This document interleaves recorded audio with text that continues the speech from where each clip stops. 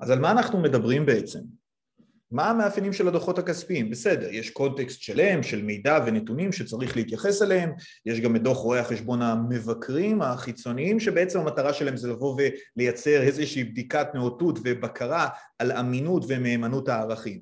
אבל זה נורא נחמד, השאלה היא אילו נתונים קיימים. שייקה בוא תראה לי כבר את הדוחות, נו, אני מבטיח להראות. אבל בואו נראה מה הכיוון שלנו. הכיוון שלנו אומר שתמיד תמיד תמיד, לא משנה מה, דוחות כספיים צריכים להציג לפחות, וכנראה יותר, שני סוגים עיקריים של נתונים. הסוג האחד הוא ביצועים. יש פרסומת כזו, אתם מוזמנים להגיד לי פה בקומנטס בילו איזה פרסומת זו אומרת שהכל נמדד בביצועים. אז אולי לא הכל נמדד בביצועים, אבל ביצועים או ערכים של חברות ופוטנציאל הצמיחה שלהם בהחלט נמדד בין היתר על בסיס הביצועים ההיסטוריים שלהן שעל בסיס הקונטקסט, ההקשר שבו הן מפורשות יכול לעזור לנו להבין לאן מועדות פניה של חברה. הדבר הבסיסי ביותר אם אני שוקל להשקיע בביזנס או לנתב אליו משאבים כאלו או אחרים הוא מה ה-sustainability, מה היכולת של העסק הזה לשרוד, לבצע, לצמוח, להניב ערך, להניב תשואה, ואיך אפשר לדעת את זה בלי לדעת מה היו הביצועים. הביצועים הכספיים, רבותיי, נכללים בתוך דוח כספי שנקרא דוח רווח והפסד. זו מטרתו וזו תכליתו, להראות מה החברה עשתה במהלך תקופה, וכשאנחנו מדברים על תקופות אנחנו בדרך כלל מדברים על שנה אחת, באופן שפשוט יפרט את סוגי ההכנסות, כלומר את סוגי הפעילויות או הביצועים שיוצרים ערך, כמו בגדול אה, הכנסות אה, משירות או ממכירה, לצד הפעילויות שצורכות ערך או משאבים, שאנחנו קוראים להן הוצאות בהקשר הזה.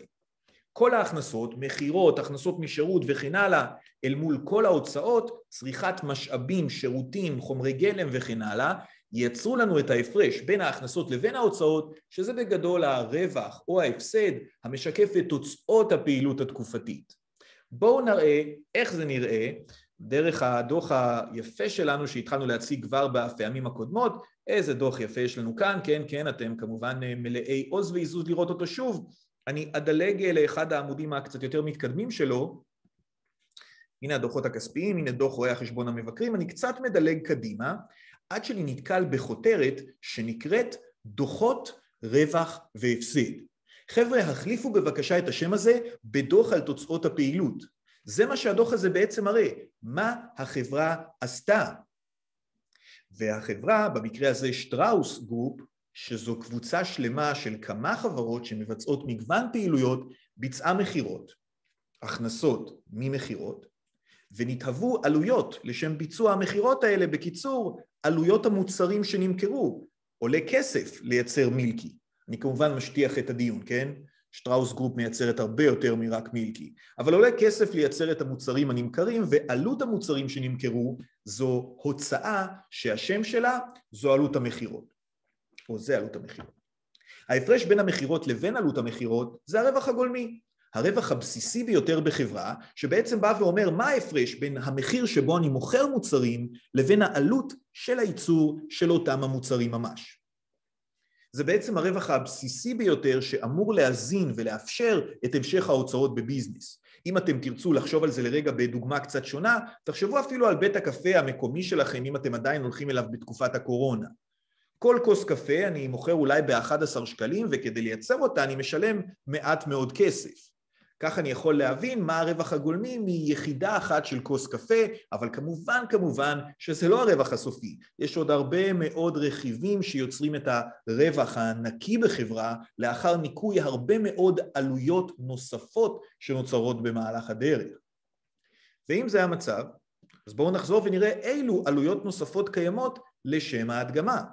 בואו נראה, יש לנו כאן הוצאות מכירה ושיווק, אה, פרסום, שיווק, הפצה, הוצאות הנהלה וכלליות.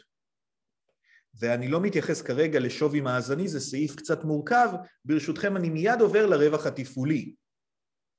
הרווח התפעולי לוקח את הרווח הגולמי ובעצם מנקה ממנו את הוצאות המכירה והשיווק, פחות הוצאות מכירה ושיווק, מנקה ממנו גם את הוצאות ההנהלה והכלליות, וכך מגיעים לרווח התפעולי כהגדרתו. בהינתן הרווח התפעולי היפהפה הזה, אפשר לבוא ולהגיד מה הביזנס של החברה עושה חבר'ה.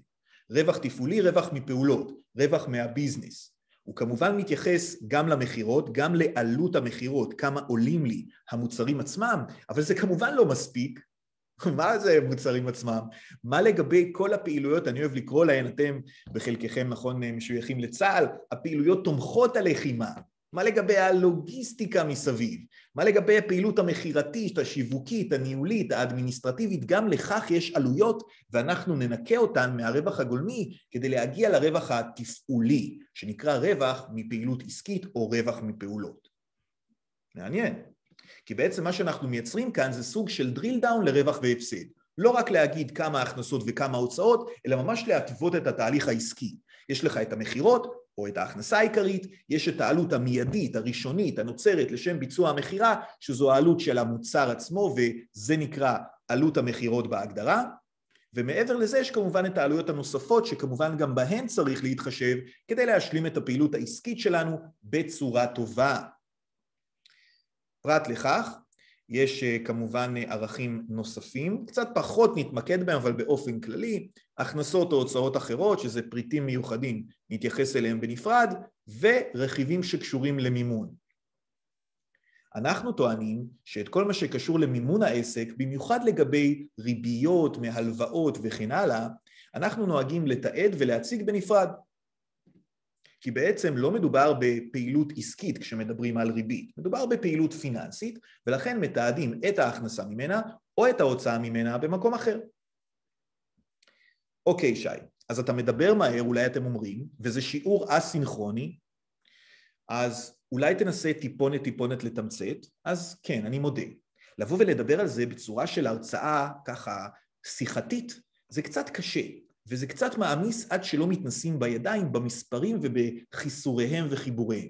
אבל בואו לא נתבלבל בין הרצון שלנו להיות מסוגלים לפתור תרגילים לבין ההבנה העסקית הבסיסית שלנו, שבאה ואומרת, יש כאן איזשהו flow של נתונים שמתחיל מהדבר העליון ביותר, המקסים ביותר, הפעילות בכללותה, היקף המכירות, המחזור העסקי, כמה אני מגלגל, ומשם ואילך ממשיכים הלאה לערכים האחרים שהולכים ומייצגים מעגלים או אדוות כאלה, הולכות ומתרחבות של פעילויות נוספות שצריך לבצע כדי להניב את הרווחים או את ההכנסות הללו, העלות של המוצר עצמו, העלות של הפעילות התומכת בהיבט מכירה ושיווק, הנהלה וכלליות, וכמובן גם הוצאות המימון.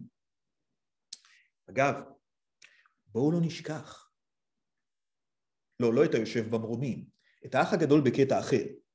גם רשות המיסים, במיוחד בחברות עסקיות, ואם אין פטור ממס, נוטלת את חלקה. אז יש גם הוצאות מס, אבל נעסוק בהן כשנגיע לכך. כרגע אני רוצה לדבר יותר על הביזנס, קצת פחות על סוגיית המס, שהיא כמובן חשובה מאין כמותה, כל מי שהיה לו איזשהו ביזנס יודע, אבל היא פחות במעגל העסקי הקרוב הניהולי.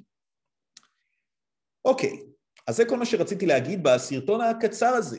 שנבין שאנחנו רוצים למדוד רווח והפסד, אנחנו רוצים למדוד פעילויות ואנחנו מודדים אותן בקצב שהולך ומתרחק מליבת העסקים ככל שהסעיפים מתקדמים. זה הסוג הראשון של הנתונים, זה דוח רווח והפסד בתצוגה הכי בסיסית שלו, ואנחנו נתראה בעוד רגע בסרטון הבא ונדבר על דוח מרכזי נוסף, על תמונת הסטילס, על הדוח, על המצב הכספי, על המאזן. אז נתראה בקרוב חבר'ה. Stay pretty. Stay pretty.